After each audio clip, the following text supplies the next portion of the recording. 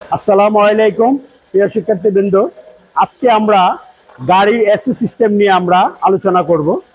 গাড়ি AC system আসলে কি কাজ করে? আমরা জানি যে এসি হলো একটি আবদ্ধ স্থানের বায়ুমণ্ডলীয় বাতাসের যে আর্দ্রতাটা নিয়ন্ত্রণ করাকে আমরা বলি এসি সিস্টেম। আমরা আর্দ্রতাটাকে নিয়ন্ত্রণ করে একটি আদর্শ তাপমাত্রা এখানে বজায় রাখে যাতে যাতে একটি স্বাভাবিক তাপমাত্রা নিয়ন্ত্রণ করা যায় ওইটের মূল কাজটি করে থাকে এসি সিস্টেম আমরা জানি যে একটি গাড়ির মধ্যে আহ, সবচেয়ে আরামদায়ক যে তাপমাত্রাটা এটা হলো বাইশ থেকে চব্বিশ ডিগ্রি সেন্টিগ্রেড। এখন এই বাইশ থেকে চব্বিশ ডিগ্রি সেন্টিগ্রেড তৈরি করতে গিয়ে আমাদের যে এসি সিস্টেমের যে কম্পোনেন্টগুলা ব্যবহার করা হয় আমরা আজকে এই কম্পোনেন্টগুলোর সাথে পরিচিত হব এবং কম্পোনেন্টগুলো কীভাবে কাজ করে এগুলা আমরা একটু জানব। আমরা প্রথমে আমরা দেখব এটা হলো আমাদের একটি এসি সিস্টেম মডেল আমরা এই এসি সিস্টেম মডেলের মধ্যে আমরা প্রথমেই আমরা দেখি যে এখানে একটি কম্প্রেসর আমরা ব্যবহার করছি। এটাকে আমরা বলি এসি কম্প্রেসর আর এই সামনের অংশটুকু হলো ম্যাগনেটিক ক্লাস ঠিক আছে? এই এসি কম্প্রেসরে এখানে দুইটা লাইন আছে। একটা হলো হাই প্রেশার লাইন আর একটা হচ্ছে লো প্রেশার লাইন কম্প্রেসর থেকে আউটপুট যেটাতে হচ্ছে, এটা হলো হাই প্রেশার লাইন এই হাই প্রেশার লাইনের মাধ্যমে যেটার ভিতরে প্রবেশ করে এটাকে আমরা বলি কন্ডেন্সার আর এই কন্ডেন্সারের মধ্যে যখন গ্যাসটা আসে, তখন উচ্চ চাপে খুব তাপমাত্রা থাকে, তখন এই তাপমাত্রাটাকে নিয়ন্ত্রণ করার জন্য এখানে কুলিং ফ্যান ব্যবহার করা হয়। এই কুলিং ফ্যানের মাধ্যমে এই রেফ্রিজারেন্টটাকে ঠান্ডা করা হয়। আমরা দেখি এই কন্ডেন্সার থেকে গ্যাসটা এই রিসিভার হয়ে এখান থেকে আউট হয়। এই রিসিভারটা কি কাজ করে? বলছে রিসিভারটা এখানে একটি ডায়ার হিসাবে ব্যবহার করা হয়েছে।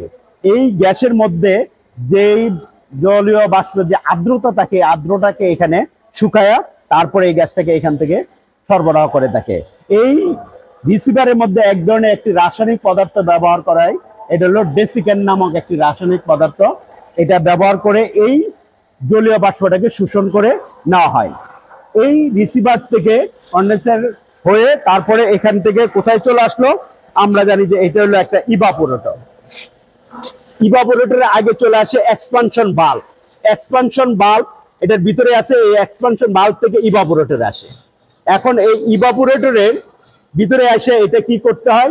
হাই প্রেসারটা আস্তে আস্তে এটা লো প্রেসারে রূপান্তরিত হয়। তখন এখানে জলীয় বাষ্পের মতো একটা তৈরি হয়। এই পাশে থাকবে একটি ব্লোয়ার এই ব্লোয়ারটা কি করে? এই ব্লোয়ারটা বায়ুমণ্ডলীয় বাতাসটাকে টেনে এনে এই ইভাপোরেটরের মধ্যে প্রবেশ করায়। তখন এই ইভাপোরেটরের ভিতরে যে ঠান্ডা বরফটা এই গরম বাতাস ব্লোয়ারের বাতাসটা কি করে? এই ঠান্ডার ভিতরটা প্রবেশ করলে তখন এই বাতাসটা ঠান্ডা হয়ে এই ব্লোয়ারের মাধ্যমে বা এই ডাক্টের মাধ্যমে কি করে? গাড়ির চতুর্দিকে এটা ছড়ায় পড়ে। তখন এই এসি সিস্টেমটা এইভাবে ঠান্ডা বাতাসটা গাড়ির মধ্যে সরবরাহ করে থাকে। তাহলে আমরা আজকের যে আলোচনা, এই আলোচনার থেকে আমরা এসি সিস্টেমের যে কম্পোনেন্টগুলো আছে, এই কম্পোনেন্টগুলো জানলাম। এখন এই এসি সিস্টেম আমরা কি গ্যাসটা ব্যবহার করি? আমরা জানি যে এসি সিস্টেমে আমরা দুই ধরনের গ্যাস আমরা ব্যবহার করতে পারি। একটা হলো এফ বারো, আরেকটা হলো এফ ওয়ান থার্টি ফোর এ পিওন বলছে এই পিওন গ্যাসটি কিসের সমন্বয়ে গঠিত? ক্লোরিন ক্লোরিন এবং মিথেনের সমন্বয়ে এই রেফ্রিজারেন্টটা গঠিত হয়।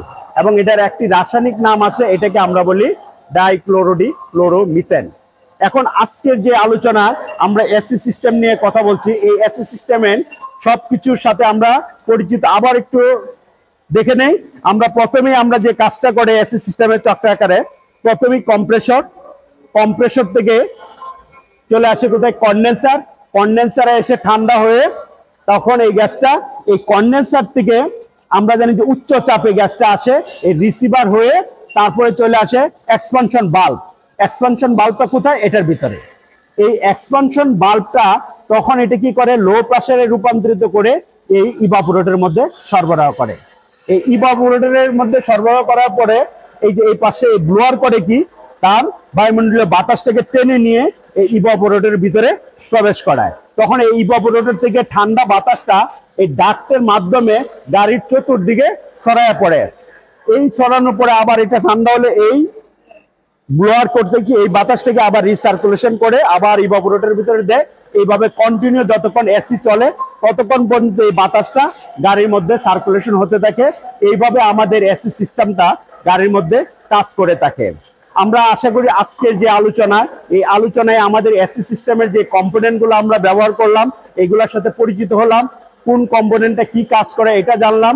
আশা করি সবাই আমাদের এই চ্যানেলে যারা এখনও সাবস্ক্রাইব করেন নাই, সবাই সাবস্ক্রাইব করে আমাদের এই চ্যানেলটিতে থাকবেন।